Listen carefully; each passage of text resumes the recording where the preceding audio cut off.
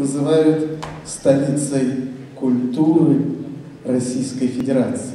Потому что такое количество театров, концертных залов, честно говоря, нет ни в одном городе мира. Наверняка, я больше даже, чем в этом уверен.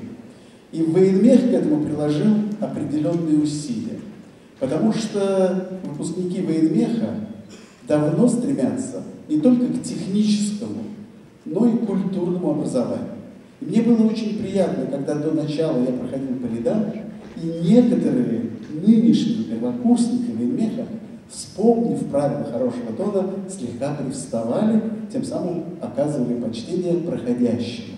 А некоторые еще длиннее вытягивали ноги, что говорит о том, что по окончании пятого курса они тоже будут привставать, когда мимо них проходят по рядам.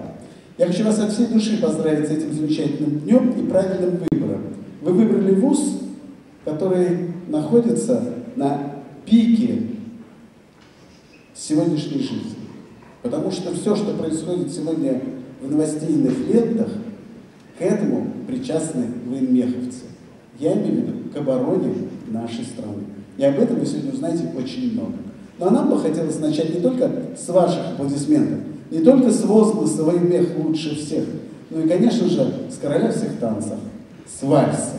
Я думаю, что этот день вам запомнится надолго. И пусть многие из вас не умеют его танцевать, но мне очень хочется, чтобы к концу обучения многие из вас надели не только военную форму, не только встали к пульту управления ракетами, не только стали надежным защитником нашей страны, но и красивым, культурным, порядочным санкт-петербуржцем. Вальс!